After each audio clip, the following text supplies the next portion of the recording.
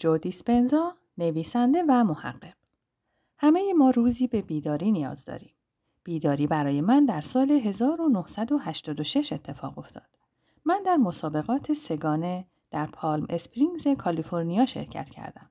در بخش دوچرخه سواری.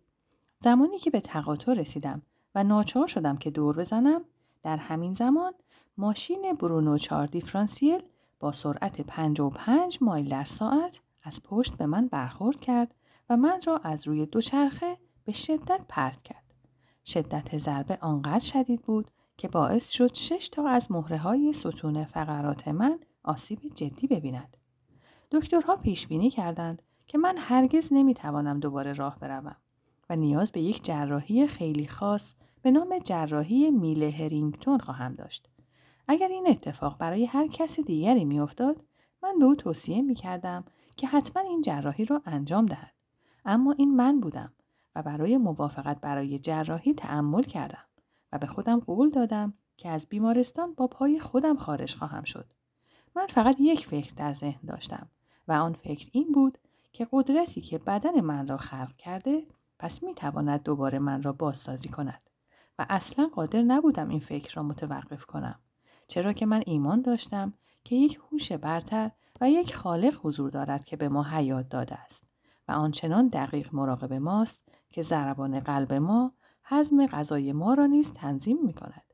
بنابراین من تصمیم گرفتم که به این هوش برتر و خالق هستی متصل شوم.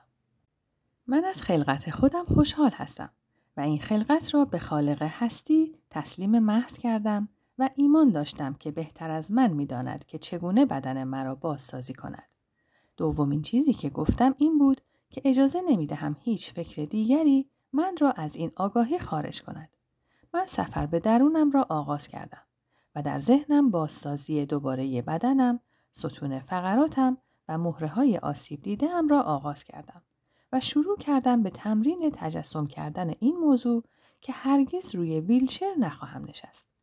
بنابراین برای شش هفته از جهنم دردناکی که برای من وجود داشت عبور کردم و هر روز سه ساعت تمرین ذهنی خودم را ادامه دادم و بعد از شش هفته بدون از دست دادن تمرکزم برنامه ذهنیم را دنبال می کردم و یک دفعه اتفاقی افتاد. عمل کرده بدنم به حالت طبیعی برگشت و بدنم به سرعت شروع به تغییر کردن کرد.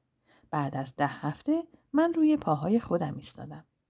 با خودم عهد کردم که مابقی عمرم را به راهنمایی و آموزش افراد برای برقراری ارتباط ذهن و بدن بپردازم و این کاری هست که بعد از درمان خودم از سال 1986 تا به حال مشغول آن هستم. آن هوش مطلق و خالق هستی که نه تنها مراقب ضربان قلب ماست بلکه بزرگترین شفادهنده ما در جهان هستی و کائنات است. همه کاری که ما باید انجام دهیم این است که کاملا خود را به او بسپاریم و تسلیم او باشیم و از سر راه اراده او کنار برویم. به طور پایه‌ای ما سه گروه از استرس را داریم. استرس های فیزیکی مثل حوادث، زخمها، دردها، استرس های شیمیایی مثل باکتری ها، ویروس ها، هورمون های غذایی، فلزات سنگین، سطوح قند خون، استرس های احساسی مانند تراژدی های خانوادگی، مرگ عزیزان، مسائل کاری، مسائل اقتصادی. توجه داشته باشید که تمامی این عوامل باعث می شود که توازن بین مغز و بدن از بین برود. چگونه ممکن است شما بتوانید چیزی را به کسی بدهید مثل قرص شکر یا تزریق سرم نمکی یا شکلی از جراحی مصنوعی و درصد مشخصی از افراد بپذیرند و ایمان داشته باشند و خودشان را به آن فکر تسلیم کنند که داروی واقعی دریافت کرده یا تحت عمل جراحی قرار گرفتند و شروع کنند به برنامه ریزی سیستم عصبی خود ایمنی بدنشان و دقیقا ترکیب شیمیایی مورد نیازشان را با داروی شیمیایی واقعی مورد نیاز آن بیماری تطبیق دهند که فکر می کنند دریافت کرده اند. سوال این است.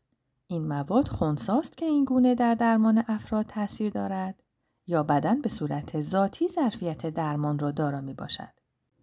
این خیلی مهم است که افراد درک کنند وقتی آنها دچار بیماری می شوند و در مرحله بعدی به دام پیشبینی نتیجه بیماری گرفتار می شوند بدون اینکه در نظر بگیرند اطلاعات و احتمالات دیگری هم ممکن است وجود داشته باشد بدون اینکه درک کنند باید رفتار متفاوتی داشته باشند تا به انتخابهای جدیدی برسند و به فرای احساسات و تفکر محدودی که داشتند پارق آیند.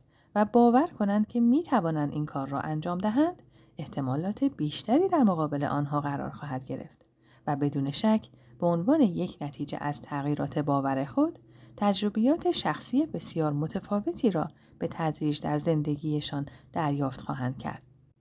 ما مطالعاتی انجام دادیم. 120 نفر را انتخاب کردیم و تصمیم داشتیم که سطح کورتیزول آنها را و همچنین یک ترکیب شیمیایی به نام IgA را بعد از انجام تمرینات مراقبه اندازه گیری کنیم. آنها را چهار روز و نیم تحت آموزش قرار دادیم و سپس اندازه گیریمان را شروع کردیم. نتایج آزمایش شگفتانگیز بود. سطح کورتیزول تعداد زیادی از افراد کاهش یافته بود و این به آن معنا بود که به هیچ عنوان در این مدت تحت شرایط استرسان نبودند. اما نکته مهم دیگر این بود که میزان IgA آنها از 51 به بیش از 83 یعنی به سقف رسیده بود و برای بعضی از افراد حتی تا 100 نیز افزایش یافته بود. خب اجازه دهید توضیح دهم که IgA چیست و چه فایده ای دارد. IgA اولین لایه دفاعی در برابر باکتری ها و ویروس هاست و از هر داروی تزریقی قوی تر است. اجازه دهید توضیح کوچکی در مورد همسویی ذهن و بدن به شما ارائه دهم. معمولا همه ما وقتی چیزی را دریافت می کنیم سپاسگزاری خودمان را نشان می دهیم. اما اگر شما این حالت سپاسگزاری عمیق را زمانی که هنوز چیزی را دریافت نکرده اید انجام دهید بدن شما و واکنش احساسی بدن شما به گونه ای عمل خواهد کرد که این اتفاق از قبل افتاده است و وقتی افکار شما و احساسات شما هم جهت باشند باور داشته باشید که چیزی را که به خاطر آن قدردان بوده اید دریافت خواهید کرد. بهترین حالت برای همجهت نمودن فکر و احساس انجام مراقبه و مدیتیشن است.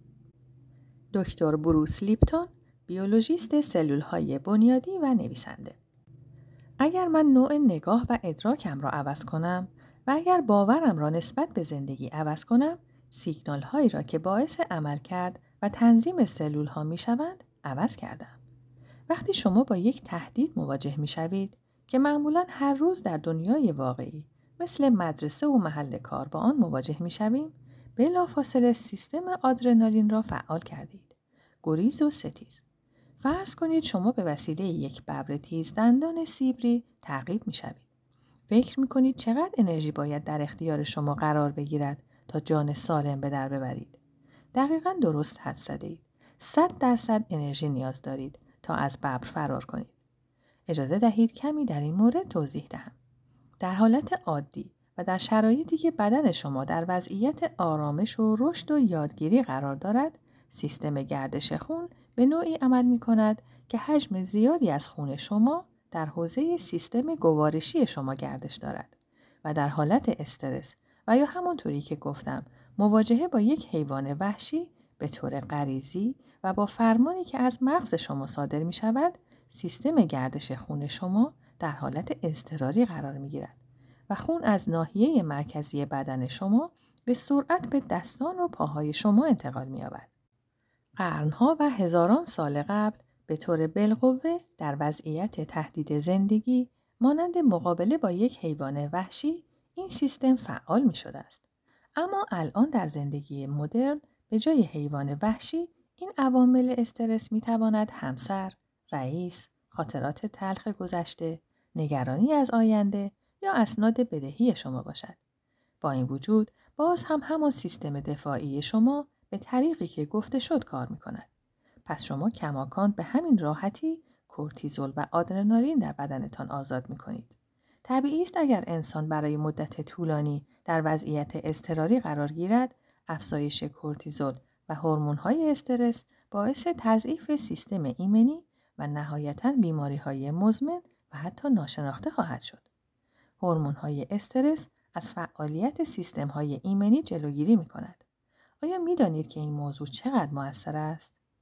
وقتی پزشکان قصد دارند یک عضو را از بدنی به بدن دیگر پیوند بزنند مثل پیوند کبد و کلیه به بدن بیمار هورمون استرس می‌دهند و بعد عضو مربوطه را پیوند می‌زنند چرا زمانی که عضو پیوندی وارد بدن می شود عضو خارجی و سیستم ایمنی به وسیله های استرس غیر فعال شده پس در نتیجه من عضو خارجی را پس نمی‌زنم. متاسفانه در حال حاضر عوامل استرسا در 24 ساعت شبانه روز، هفت روز هفته و 365 روز سال وجود دارد. نتیجه خالصی که از این موضوع نصیب ما می شود بیماری است و تنها نتیجه است که از شیمی ترس نصیب ما می شود. به دنیا نگاه کنید. آنچه کماکان در دنیای امروز مشاهده می شود، سبک زندگی، درگیری ها و جنگ نتیجه همین نوع بینش و ادراک و ایجاد شیمی ترس در بدنمان می باشد. داروهایی که بر پایه نظریه نیوتونی طراحی و ساخته شده اند به بدن به عنوان یک وسیله فیزیکی نگاه می کنند و اگر چیزی به خطا برود آن نتیجه یک مشکل در کارکرد یک ماشین فیزیکی است و این پیشفرض تا سال 1925 پذیرفته بود. در سال 1925 فیزیک جدیدی پا به عرصه وجود گذاشت. فیزیک کوانتوم. چه چیزی در فیزیک کوانتوم متفاوت بود؟ فیزیک کوانتوم می‌گوید انرژی نامرئی در اطرافمان وجود دارد که ما آن را در شیوه های درمانی و داروسازی خودمان در نظر نگرفته و در مورد آن صحبت نکرده ایم. چرا که معتقد بوده ایم که این یک بدن فیزیکی است. این علم جدید درک ما را در مورد چیزهای فیزیکی تغییر داد که این چیزهای فیزیکی توهم هستند. در واقع هیچ چیز فیزیکی وجود ندارد و همه در حوزه انرژی قرار دارند. زمانهای خیلی قبل کلمه روح چه معنایی داشت؟ یک نیروی حرکتی غیرقابل رویت که روی قلمرو فیزیکی تاثیر داشت. فیزیک کوانتوم ما را به زمانی برمیگرداند که می‌گوید نیروهای غیرقابل رویت که در داروهای ما نادیده گرفته ایم به عنوان نیروی اولیه‌ای که همه چیز را کنترل می کند بایستی در نظر گرفته شود. و سوال من این است که آنها شامل چه چیزهایی هستند؟ پاسخ این است. ذهن و آگاهی. این دلیل چرایی شما برای بازگشت به قدرت عالی بیولوژیک ماست. آن فکر است. انرژی غیرقابل رویت از ذهن ما که نه تنها بدن ما را شکل داده است بلکه ارتباط ما با دنیای اطرافمان را نیز شکل داده است. داروهای مرسوم به شدت به یک سیستم اعتقادی قدیمی وابسته است که ریشه همه بیماری ها را وابسته به ژنتیک و بیوشیمی ما می داند و بنابراین کارخانجات دارویی ما به عنوان نجات دهنده بزرگ شناخته می شود. چرا؟ برای اینکه شیمی را که ما را به سمت سلامت برمیگرداند می سازد. خب این در واقع به طور کامل غلط است. بیماری هایی وجود دارند که به طور کامل از نوع شیمی عالی یعنی ارگانیک هستند. در نتیجه 100 درصد از بیماری های دیابت نوع دو به هیچ عنوان ژنتیک نیستند و به سبک زندگی آدمی بستگی دارد. 90 درصد یا بیشتر بیماری های قلبی به صورت ارگانیک پدید نمی آیند و بیشتر ناشی از در معرض استرس قرار گرفتن می باشد. آیا گفته های من به این معناست که همه داروها منفی هستند؟ مطلقا خیر. داروها در خصوص درد معجزه می کنند. اگر من به صورت فیزیکی آسیب دیده باشم، مثلا در یک حادثه رانندگی و روده های من بیرون ریختند، من را پیش یک درمانگر عصبی نبرید. من نیاز به یک ماساژ درمان یا فیزیوتراپ یا هومیوپاتی ندارم. قطعا نیاز به جراحی و داروهای مسکن دارم. اما در مورد بیماری های به ویژه مزمن اجازه دهید با توضیحی در مورد قرص های خونسا یا دارونما موضوع را دنبال کنم. به نظر می رسد همه در مورد نتیجه استفاده از قرص های خونسا یا شکر به همراه تفکر مثبت اطلاع دارند و سوال مهم این است که نتیجه تفکر منفی چیست؟ حدس بزنید. دقیقا به همان اندازه تفکر مثبت قدرت تاثیرگذاری در زندگی شما را دارد. منتها در جهت برعکس. وقتی قرص شکر یا دارونما همراه با فکر مثبت می تواند در درمان شما موثر باشد، یک تفکر منفی یا منفی نما می تواند باعث و ریشه هر نوع بیماری و حتی مرگ باشد. فقط و فقط به خاطر باور منفی شما. در سال 1968 در حال یادگیری در مورد سلول های بنیادی شبیه سازی شده بودم. در آن زمان تعداد انگشت شماری از افراد در دنیا مطلع بودند که سلول های بنیادی چیست. بنابراین من در زمان مناسب و در مکان مناسبی قرار داشتم تا کشفیات قابل توجهی داشته باشم. من یک سلول بنیادی را کشت کردم و این سلول هر ده یا دوازده ساعت به دو سلول تقسیم می شد. یعنی ابتدا آنجا یک، دو، چهار، هشت، شانزده و دو برابر سلول تولید می شدند و نهایتا من پنجاه هزار سلول مشابه از نظر ژنتیکی داشتم. این مجموعه سلول را به سه قسمت تقسیم کردم و در سه ظرف مختلف کشت کردم. محیط کشت را با ترکیبات مختلف شیمیایی ایجاد کردم. در نظر داشته باشید محیط کشت و ماده موجود در ظرف مشابه خون عمل می کند. نتیجه آزمایش چه بود؟ ژنهای یکسان ژنتیکی در سه ظرف و محیط مختلف تبدیل به سلول های موجود در بافت های متفاوت شدند. یعنی ظرف اول به سلول های ماهیچه، ظرف دوم به سلول های استخوان و در ظرف سوم سلول های چربی ایجاد شدند. خب این به چه معناست؟ چه چیزی سرنوشت سلول ها را کنترل می کند؟ و یادتان باشد همه آنها از نظر ژنتیکی یکسان بودند. پاسخ روشن است. محیط محیط چیزی است که فعالیت ژنتیکی سلول را انتخاب می کند. طبیعت بیولوژی ساده است. ارگانیسم های موجود بیولوژیک خودشان را به گونه ای تغییر می دهند که با محیطشان هماهنگ باشند. اجازه دهید این گونه توضیح دهم که مثلا سلول های کبد من خودشان را با آنچه در محیط میگذرد تطبیق می دهند. منظورم این نیست که سلول های کبد محیط را لمس می کند. این به سیستم عصبی برمیگردد که اطلاعات مربوط به محیط را به بدن انتقال می دهند و بنابراین سلول ها بیولوژی خودشان را با آنچه در دنیای خارج اتفاق می افتد تطبیق می دهند. خب ما اینجا یک مشکل داریم. هوشیاری و آگاهی یک تعبیر و تفسیر است. بنابراین ذهن من محیط را تفسیر می کند. اگر من درک و ذهن خودم را تغییر دهم، نوع نگاه و باورم را نسبت به زندگی تغییر می دهم. من سیگنال هایی که از محیط توسط شبکه عصبی به داخل بدن من انتقال مییابد را تغییر می دهم و عملکرد سلول ها را اینطور تنظیم کردم. این نکته بسیار زیاد حائز اهمیت است. من با توانایی تغییر در محیطم و توانایی در تغییر در ادراکم از محیط قادر خواهم بود که فعالیت های ژنتیکی خودم را کنترل کنم و دیگر قربانی وراست خودم نخواهم بود. برای فهم این که ما با محیط خودمان و ادراکمان چگونه تعامل می کنیم، چیزی به عنوان ذهن بین محیط و سلول ها وجود دارد. وقتی من می‌گویم ذهن همه ما به آن به عنوان یک عامل تکبخشی نگاه می کند. اما ذهن از دو عنصر وابسته به یکدیگر تشکیل شده است که با هم کار می کند و شامل ذهن خداگاه و ذهن ناخداگاه می باشد. ذهن خداگاه آخرین نسخه تکامل یافته مغز است و عامل خلاقیت و آفریننده است. وقتی ذهن خداگاه شما به تفکر شما پیوند می‌خورد، ذهن خداگاه می‌تواند به کار گرفته شود. اما متاسفانه در سبک زندگی فعلی ما ذهن ناخداگاه است که مرا به پیش می‌برد. هر چیزی که به صورت روزانه انجام می دهم مثل راه رفتن، رانندگی، ارتباط با دیگر افراد قاعدتا نیازی به استفاده از ذهن خداگاه خود ندارم و برنامه لازم را برای همه آن فعالیت ها از قبل دارم. حجم زیادی از پول به سمت بازار دارو سرازیر می شود و جالب اینجاست بدترین آمار را از نتایج در این حوزه داریم. مشکل اینجاست که شرکت های داروسازی شرکت های انتفاعی هستند و به این معناست که آنها محلی برای سرمایه گذاری افراد هستند و باید سودده باشند. گرگ بریدن، جئولوژیست و نویسنده. چقدر عمقی ما می توانیم به روی بدن خودمان یا روی بدن کسی که دوستش داریم و یا دنیای اطرافمان تاثیر بگذاریم؟ واقعا چقدر ما قدرت تأثیر گذاری داریم؟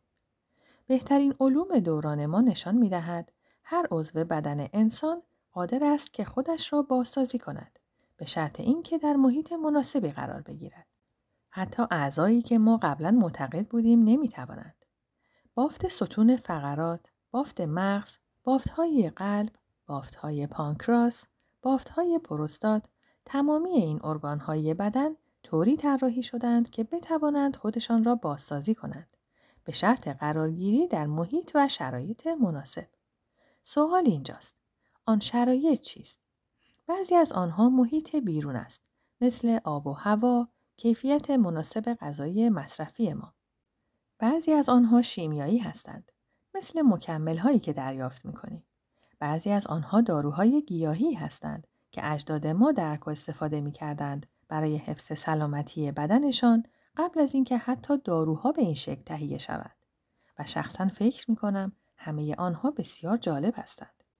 آن چیزی که باعث شگفتی من می شود محیط درونی ماست که هر زن و مردی آرشیتکت یا معمار سلامت و مقصد خود هستند.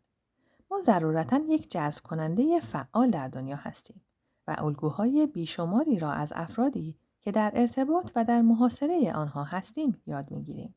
بنابراین اگر ما مراقبانی داریم که هوشیار و آگاه هستند و آموختند که احساساتشان را مدیریت کنند و آسیبهایی را که می‌بینند به روشی صحیح درمان کنند واقعا این مناسب ترین گزینه خواهد بود. افراد کمی را می‌شناسم که به این صورت از خانواده هایی با این ویژگی آمدند. زمانی که احساسی را در قلبمان داریم آن احساس سیگنال هایی به مغز ما میفرستد و کیفیت آن سیگنال مشخص می کند که مغز ما چه واکنشی را به آن احساس داشته باشد. اگر شما سیگنالی را از قلب به مغزتان بفرستید که امواج منظم، لطیف و یک نواختی مثل سپاسگزاری، عشق و مهربانی دارد، این امواج از قلب به مغز باعث می شود که مغز مطابق با این امواج مواد شیمیایی منظم و سازمان یافته ای را به بدن شما تزریق کند که در نتیجه از یک بدن سالم پشتیبانی خواهد کرد و اینجاست که سیستم ایمنی شما بسیار قوی خواهد بود. از طرف دیگر شیمی استرس لحظاتی که ما در حالت ناامیدی، عصبانیت، تنفر، حسادت، ترس و خشم قرار داریم سیگنال متفاوتی نسبت به حالت قبل به مغزمان میفرستیم. امواج بسیار نامنظم و غیر یک نواخت مشابه نمودار یک روز بعد در بازار بورس. وقتی که مغز این امواج را دریافت کرد، نهایتا مواد شیمیایی را برای بدن می سازد که در واقع این ترکیبات شیمیایی استرس می باشند. در فیزیک کوانتوم پدیده داریم با عنوان در هم آمیختگی و این به این معناست که وقتی چیزی یک پارچه باشد و شما آن را به چند قسمت تقسیم کنید و آنها را از هم جدا کنید اگر به صورت فیزیکی کیلومترها و یا حتی به اندازه سال نوری از هم دور شده باشند که مشابه آن را در کائنات می‌بینیم از طریق انرژی و ارتعاش به هم متصل هستند. چرا این نکته مهم است؟ اگر از نظر زمان به عقب برویم به نقطه خواهیم رسید که در آن نقطه شما، من، زمین و اجزای کائنات همه یکی بوده ایم. بنابراین همه ما می توانیم در بهبود شرایط جسمانی خود و دیگران مؤثر باشیم. تنها با قدرت افکارمان و البته با تغییر باورهای خودمان. مراقبه و عبادت می تواند در این مورد بسیار مؤثر باشد و زمانی که شما افکار عاشقانه سپاسگزاری و قدردانی را منتشر می کنید. هرچه بیشتر بتوانیم احساسات خود را حس کنیم و قبل از دریافت چیزی سپاسگزار باشیم در واقع باعث شده ایم بدنمان باور کند تغییری را که می‌خواسته ایم اتفاق افتاده و دریافت کرده ایم و سیگنال های لازم را به سلول های بدن میفرستیم. ما این سیستم عصبی پیشرفته را در بدنمان داریم و از طریق انتخاب هایی که می کنیم آنها را فعال می کنیم. پایان قسمت دوم.